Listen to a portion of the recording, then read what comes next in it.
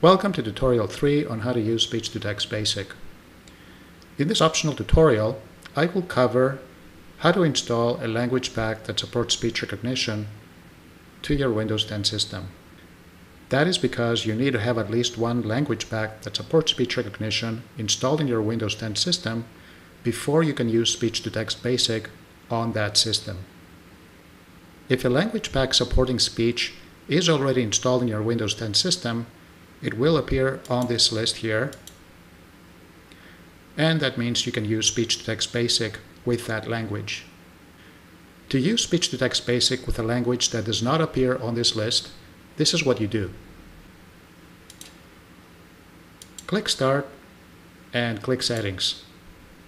From the home screen of Settings, click Time and Language.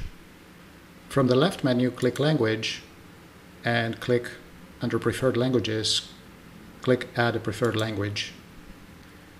If you were hoping to use Speech-to-Text Basic, speaking uh, Greek, for example,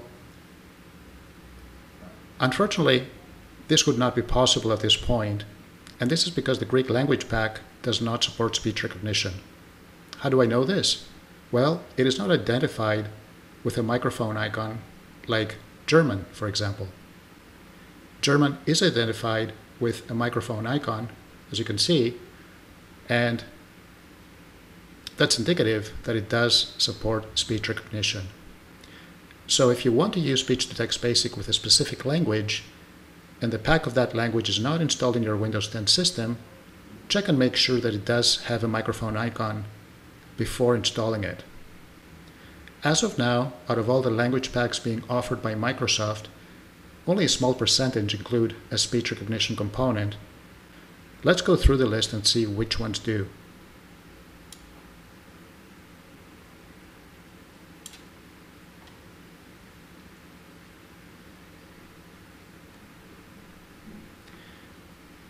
As you can see, Chinese Simplified does, so does Chinese Traditional for Hong Kong, and so does Chinese Traditional for Taiwan. They all have microphone icons. Danish does, English Australia does, English Canada does, English India, English United Kingdom, English United States does, French Canada, French France, German does,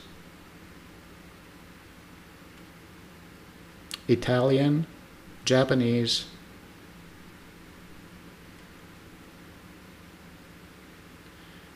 Portuguese for Brazil,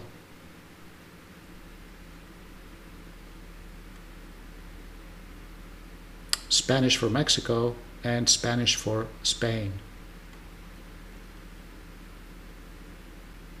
However, this list is expected to grow. So to install the language pack, simply highlight it and click on it click next and click install and allow for a few minutes for the uh, installation to complete.